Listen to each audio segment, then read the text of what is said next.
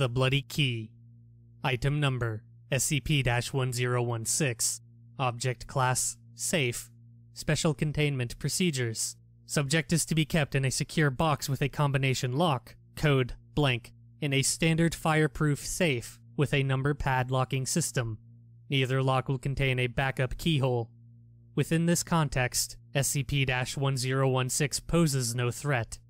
Approval of at least one Level 4 personnel is required for the removal of object from its containment area for research purposes. Due to the nature of the device, testing may only be performed at the isolated building at Site Blank, after making sure the building contains only D-Class personnel. Description SCP-1016 appears as a standard door key of unremarkable make.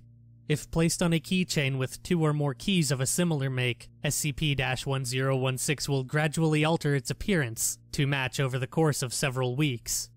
Regardless of form, the SCP may be identified by indelible bloodstains on the fob. Bloodstains contain human DNA from 27 different specimens, none of which matches any individual on file.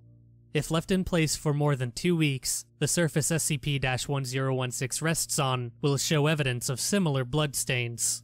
The Foundation became aware of SCP-1016 upon review of the arrest of blank for the murder of his wife and two children.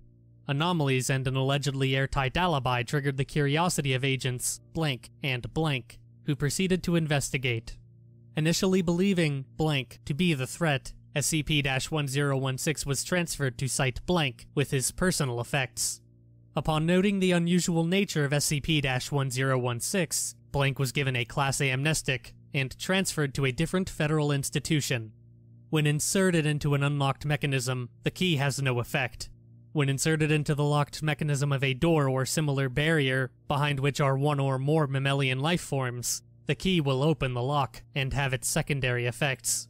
When SCP-1016 is inserted into such a lock, any lights in the structure dim noticeably. At such time, instruments detect no fluctuation in the power grid.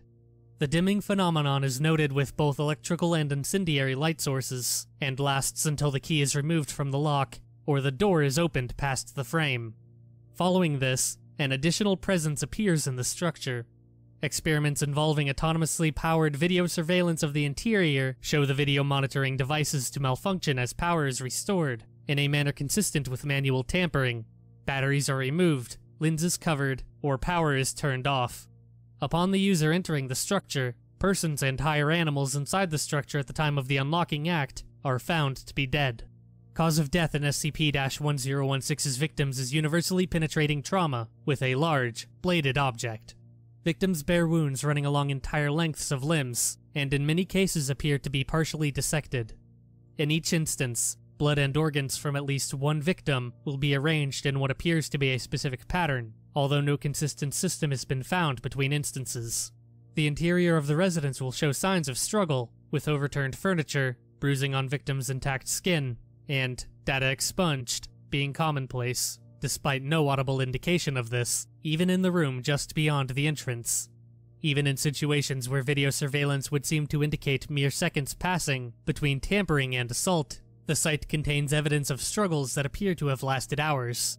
The original activator of SCP-1016 never reports seeing or hearing anything definite, although upon their initial entrance of the structure, some subjects have reported having their attention inexplicably drawn to empty windows or doorways or to hear breathing from an unlocatable source.